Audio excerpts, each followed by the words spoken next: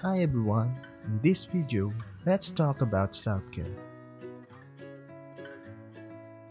Because in today's busy world and all the activities we're all doing, we often find ourselves feeling stressed mentally, emotionally, and physically. As a result, setting a few minutes of our time for self-care can be hard. So what are the common signs that we're not taking care of ourselves? Here are some examples.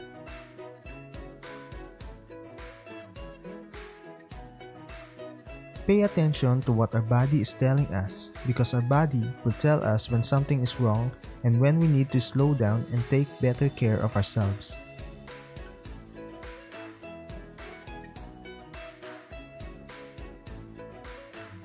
We all felt anxious and frustrated in our lives, but if we constantly feel this over things we know are irrational, then it's a sign that we need to take care of ourselves.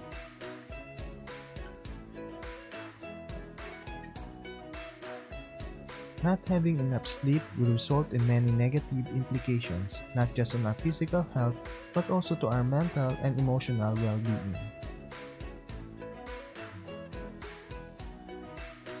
There are other signs that show us that we're not taking care of ourselves, but these three that we mentioned are the most common.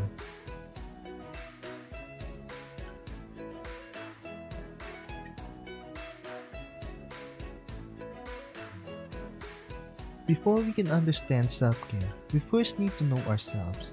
We need to know what are our needs to feel better physically, emotionally, and mentally.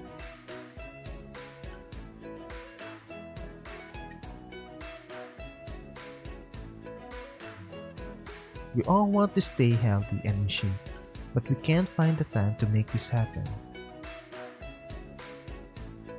Having a daily exercise to our routine will not just help us to become healthy, but it will also improve our mood throughout the day.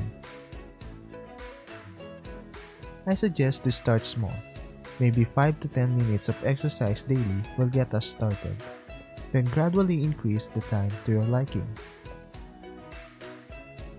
The idea is to create the habit of doing daily exercise.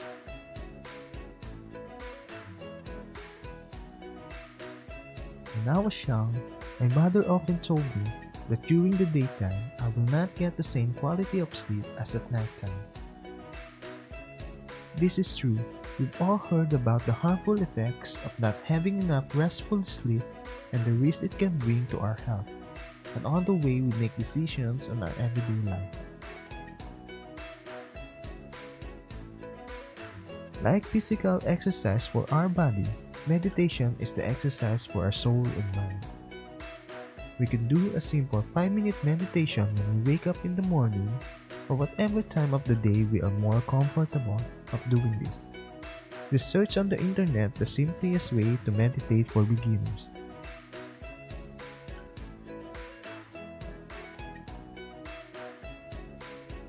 Everyone is special.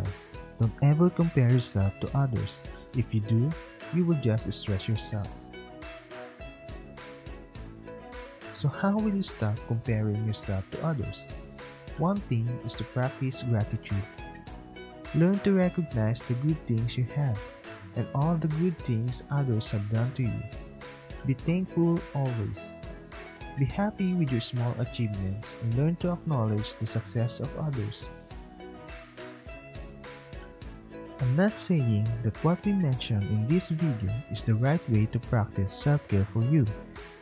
Everyone is unique and special. You could try the lessons from this video or create your own personal self-care routine that will make you more comfortable. So any activities, how big or small they are, that involve looking after our physical, mental, and emotional well-being will help us to take better care of ourselves.